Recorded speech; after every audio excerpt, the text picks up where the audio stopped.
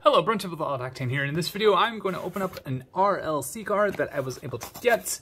Let's go ahead and open this up. I've labeled the box, but I forget what the label I put on it is. This is the, oh yeah, the Chevrolet Monte Carlo. 1975 Chevy Monte Carlo. This one has the working suspension. Let's go ahead and open this up. Don't know if this one's numbered. Some of the cars have not been numbered. Uh, I don't know if this is one that is or is not, but I was not able to get the Rosen one, the original one. I got the Snowman, but I didn't get the Rosen one. So maybe at some point I will. The, low, the lowrider is one of the most prolific styles of car due to their colorful paint jobs and hydraulic suspensions. Originating in Southern California, these unique rides quickly became a fan favorite. The 1975 Chevy Monte Carlo became a coveted car in the lowrider community, and this model proudly represents it. Spectraflame antifreeze paint, pinstripes, and custom patterns run smooth along the long flared fender and quarter panels. The interior colors match the exterior with the addition of four woofers that the drivers would blast while cruising down the coastal highway.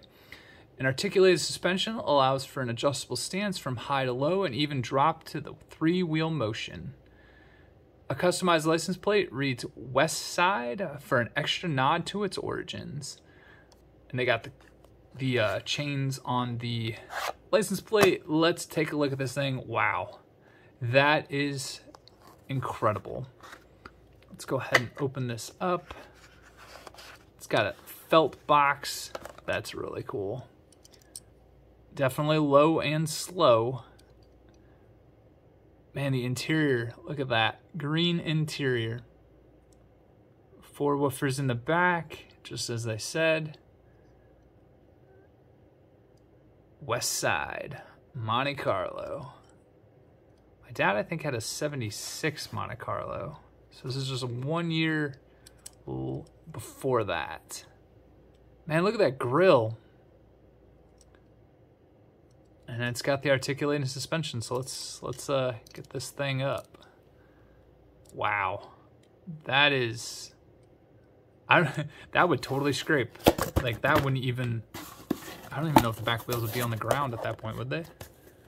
No, that's so high it's just dragging the bottom. Look at that. Oh, that's funny. Wow, that's really cool though. There we go. That's got a got a bit of a bounce to it.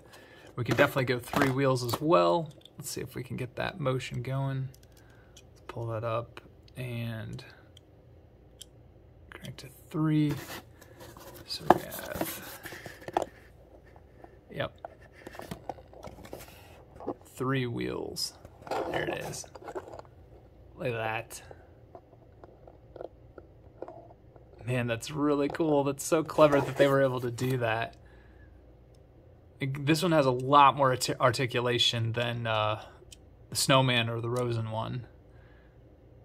But hey, it's still really cool. They've definitely improved. It's amazing. Look at that suspension work, though. Like, it's just done so well. And the tampo work. I'm so glad I got to add this to the collection. Let me know if you were able to add it to your collection, if you're excited about more of these. Do you want to see a mini truck? I guess that's going to be where they're headed. We all know where it's headed, right? A mini truck. Let me know what you think in the comments below. And until the next one, have a good one.